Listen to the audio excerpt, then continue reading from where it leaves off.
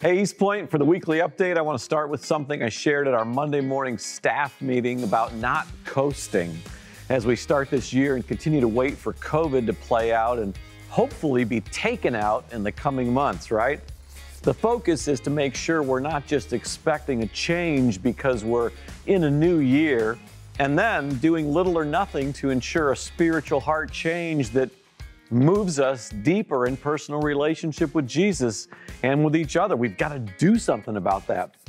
So, what I want you to know and what I'm doing, I'm, I'm approaching my time with God and with Jesus with greater expectation that with the help of the Holy Spirit, I'm going to hear from Him more specifically and be led into more meaningful and purposeful connections with people that I will have no hesitation in sharing Jesus with. So, this past Monday, I get in my chair for my chair time connection with God. I even had my cup of coffee with me, as I have on occasion, and was looking more forward, I have to say, to that cup of coffee based on what I normally would do. And I think I heard God say to me, Hey, you're, you're putting your coffee in front of me this morning. He didn't tell me to set it down, but I put it down. For me, it was a great moment simply to know God wants more of me, more of my attention. He wants all of me. The next day, during my chair time and my reading, I had what I believe was the most moving and meaningful encounter that I've ever had with God, or that at least I've had in years. And I'm going to share about that this coming Sunday. I don't want you to think that the only confirmation of time with God is to have an experience. However, I don't want to minimize an experiential relationship with God either. After all, aren't relationships experiential?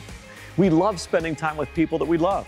We call it a great experience. Sometimes there's just silence, sometimes laughter and deep conversation, or words of encouragement, or knowledge, or information shared that can be life changing. And most of all, it's just the genuine comfort of being with someone we know and love.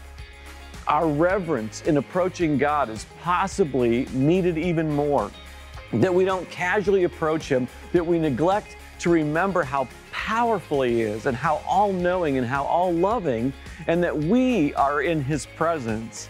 Just a thought for you as you head through your week. A couple other places we'd love for you to connect as you go through this week. Groups and classes have their final registration day this Sunday, so we'd like you to register online at eastpoint.church/register. Also, Tuesday night prayer gathering continues to grow. Over 80 people joined us last Tuesday. It's just a rich connection with God. So join us on Tuesday evening as well to connect with each other and with God especially. This Sunday, we start our new series through the book of Revelation that we are calling Resolve. You'll want to come and be a part of that, or if you're not here physically, we'll look forward to seeing you online as well. It's going to be a great and practical study through the book of Revelation. Can't wait to see what God has in store for us. Praying that you have a productive and meaningful rest of your week. God bless you guys. We'll see you Sunday.